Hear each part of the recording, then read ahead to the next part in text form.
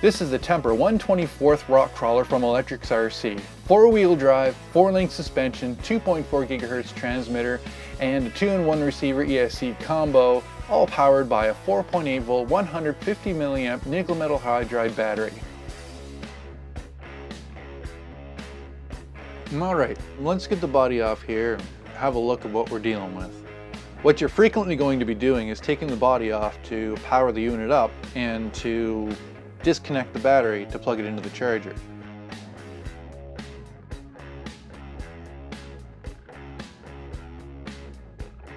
Disconnecting the battery takes a little bit of work, but I'm sure that'll loosen up with use. Once you're unplugged, the battery is held to the chassis with a small black clip. It easily comes out, just pry away from the battery. Once you have the battery out, it's a 4.8 volt 150 milliamp 4 cell nickel metal hydride pack and we're just going to plug it into the provided USB charger and we'll plug that into a power source.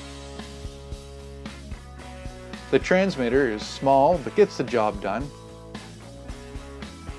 Four AA batteries go into the handle provide power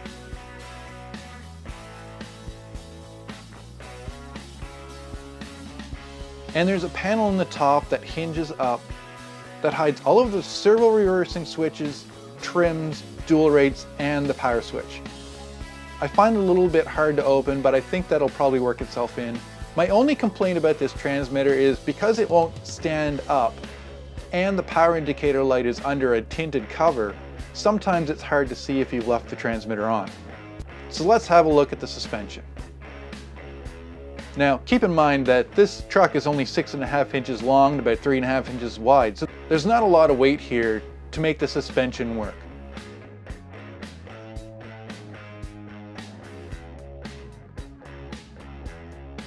Steering is provided by an Electrix RC micro steering servo.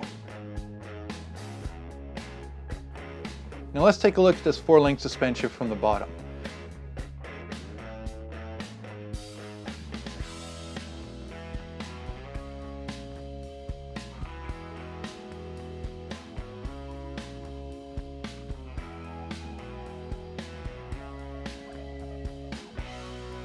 Now that we've had a look underneath and see what makes us tick, we're just going to throw these four body pins back in.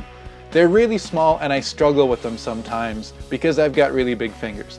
I can see this getting old really quickly so I'd probably come up with some faster method to put these body pins in or I wouldn't use them at all. So that's it. I hope you enjoyed the video. I hope you enjoyed the little course I set up. It was a lot of hot glue, popsicle sticks, yarn, you know, that kind of thing. I think this is a perfect little indoor desktop crawler to have a great time when it's raining outside.